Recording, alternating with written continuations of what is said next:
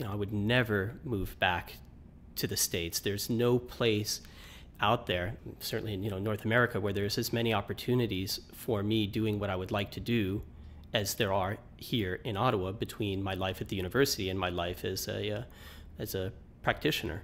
So um, I would say that I'm actually uh, the poster boy of Ottawa. I mean, I can't say enough positive things. Which uh, you know, I, I kind of indulge the questions.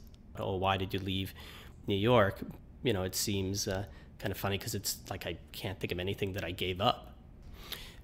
My name is Paul Kariouk, and I'm a, uh, a, professor in the School of Architecture at Carleton, and I also maintain my own design practice here in Ottawa.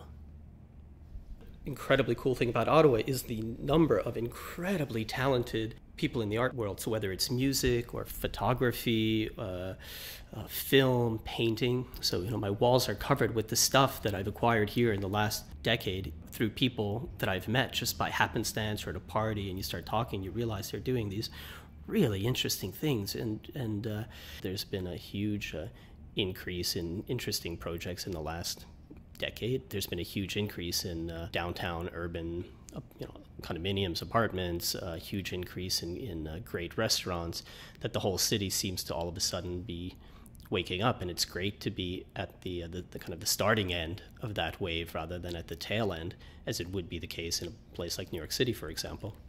Another terrific thing about Ottawa is the fact that it's a very uh, pet friendly place, I guess, in particular dogs.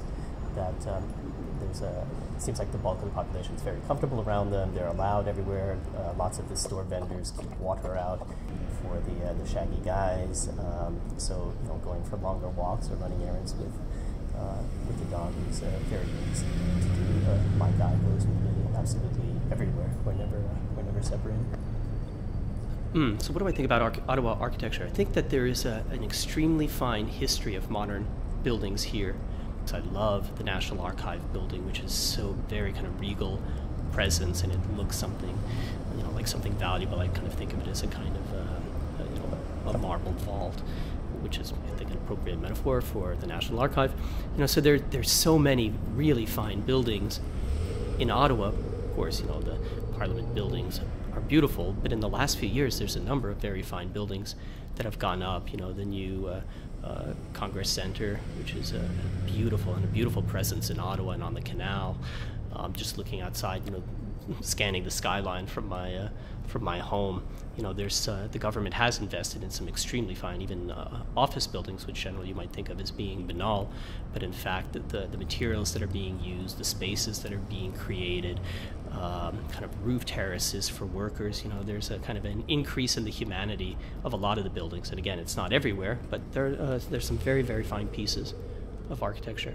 Oh, I know for a fact that there's many people who've come to the same realization that I have about Ottawa, and most of those people are not from Ottawa originally. They moved here and realized that there's so many possibilities for a rich life here that just don't exist in in larger cities. That people can come here and they can buy a piece of land and they can build a modern custom home where that would be unthinkable in a place like again Vancouver or Toronto or New York City.